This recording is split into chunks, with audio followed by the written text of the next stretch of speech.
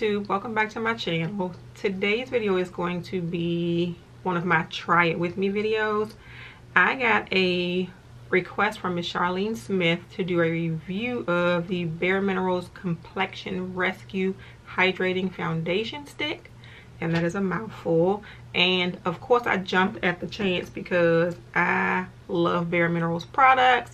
I love the fact that we have ventured out of doing all of these powder foundations and ventured into sort of liquid and stick foundations. Um, so I wanted to try it out myself. So thank you so much to Miss Charlene Smith for asking me to do the review. Gave me an excuse to buy this foundation stick and try it. Um, I picked it up in the shade Chestnut because in the original Complexion Rescue, the tinted moisturizer, I have it in the shade chestnut. So we have it in the shade, the shade chestnut. This is what the shade chestnut looks like. It looks really good.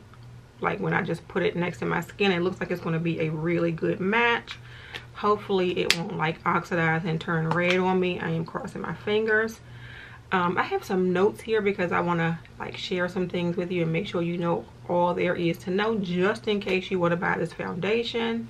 First off, it is $32 and you do get 35 gram, 0.35 gram, 0.35 ounces of product or 10 grams of product in the stick. It has SPF 25. It also comes in 20 shades, so it has a decent shade range. And when I looked online, it's a decent shade range. I mean, you may we may have like five or six shades for women of color, but it's a decent a decent shade range. It is a vegan formula they say and it's enhanced with and i have to look down to see this 30 percent enhanced mineral water. They call it a clean water-based liquid foundation in a stick.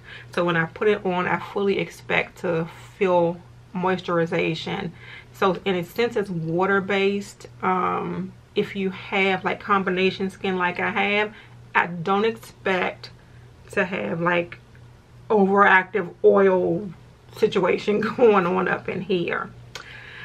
So, um, they claim that this foundation is supposed to hydrate your skin immediately and over time. And they say that it's supposed to um, hydrate the skin like 146% hydration over after using it for two weeks. We shall see. So I'm going to try it on one half of my face with a beauty blender or Real Technique sponge and the other half I'm going to be using the Royal and Langnickel Moda Brush. So we will see what the coverage looks like with a brush and with a sponge. So we're going to get started. I have only a moisturizer on my face that I put on uh, maybe about a half an hour ago. I am not going to put any primer on my face. I don't want to add anything else to my face because it's, it's supposed to be hydrating. So we are just going to do the stick foundation straight to the face. What I am going to do is to um, spray the brush before I use it just so it can like be a little bit easier blending it in. And I do need to go wet my sponge. So I will be right back. Alright, so I'm back sponge is nice and plump.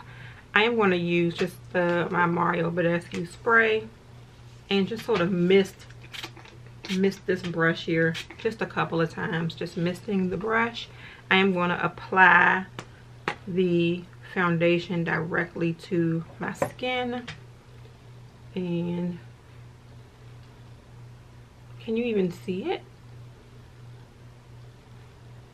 Looking at it and oh yeah i can instantly feel the moisture the, the hydration. It feels so good going on my face. Um looking at it in person though little more red than i would want it to be but we'll see if it balances out. I am going to use this brush first and just sort of blend it in. And actually as I blend it in I really like the coverage. And like I said before it is a medium buildable coverage. And it doesn't feel heavy like I don't feel it on my skin at all so this is what sort of one application looks like. Like you can sort of see the that my skin is a little bit more even on this side than it is on this side. And I'm going to zoom in a little bit after I um do the other application but this is what it is looking like. Decent shade match a little bit more red than my regular skin tone. But we will blend this buddy all the way down to here just so we can not look crazy. I'm not going outside today anyway so.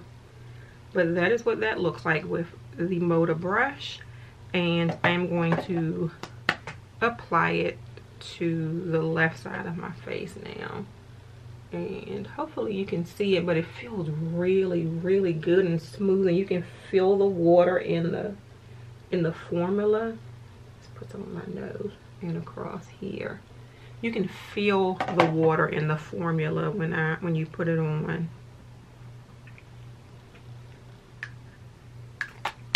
All right let's see. So we're going to use my real techniques sponge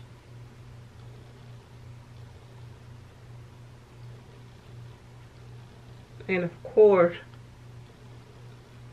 when you want a more sheer coverage use a sponge. And a more full coverage use a brush.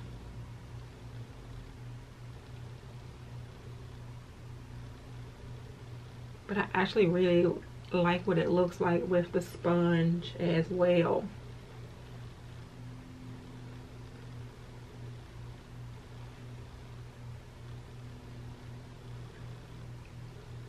and true to their claim it does not look cakey at all.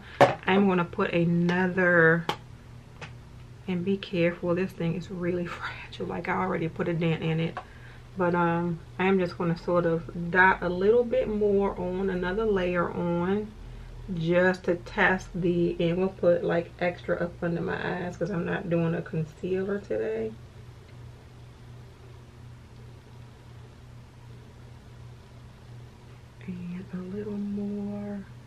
forehead. I think my forehead is what's making it sort of break apart. If you can see there's like a little dent. And hopefully, yeah, you can see like it's a, there's a little dent right there.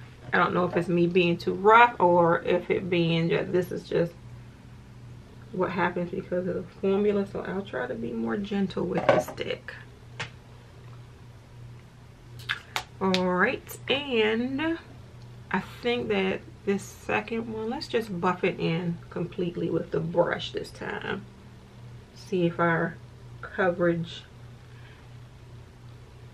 is a little bit more and it does seem to build up very nicely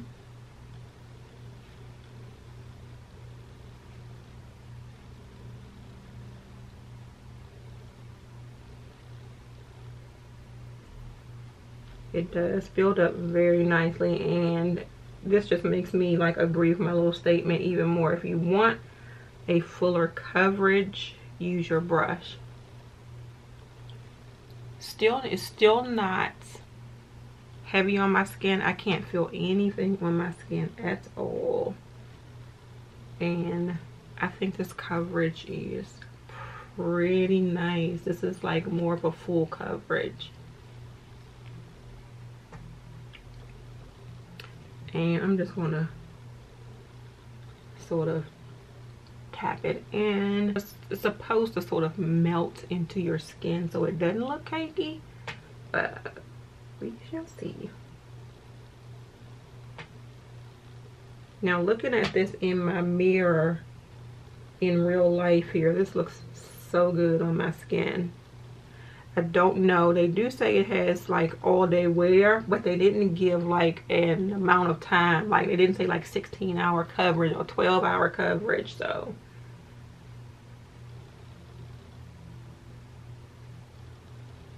okay. And this is what it is looking like on my skin. I will zoom in a little bit and hopefully I'm zooming the right way. Yeah I'll zoom in a little bit so you can see that this is what it looks like on my skin. I would still do a little bit of concealer under my eyes but other than that it made my skin very even. It does make my skin look radiant. It does not look cakey. It does feel moisturizing and not oily. So if you have combination skin or oily skin i would say yes try it because it's water based and if you have dry skin i don't think it would cling to like the dry patches or anything and it would hydrate your skin at the same time. So i think it's perfect for dry skin. This feels really good on my skin my face and i think this is going to go in my makeup basket next week. All right you all. So that is my try it with me. I am not good with coming back to let you all know um how it lasts. The only thing i can tell you is that i'm loving the way it looks now if i remember i'll come back. More than likely i won't come back. So i'm just going to tell y'all i like it now. And thank you all so much for watching. This is available i think at ulta. It's available of course at qvc pretty much anywhere you can buy bare minerals you can pick this up. Uh qvc i think has it for like 29 dollars and 12 cents I think if it is I'll, I'll put that up here that yes it is available for 29.12 everywhere else is available for 32 dollars. Thank you all so much for watching this video. Thanks to charlene for asking me to review it. I really like it and i'm happy to have it in my collection. If you all enjoyed the video please give it a thumbs up and subscribe to my channel. If you are already subscribed to my channel please make sure you hit that notification bell so you know when i have a new video coming out have a great day and may your day be as flawless as your makeup. Bye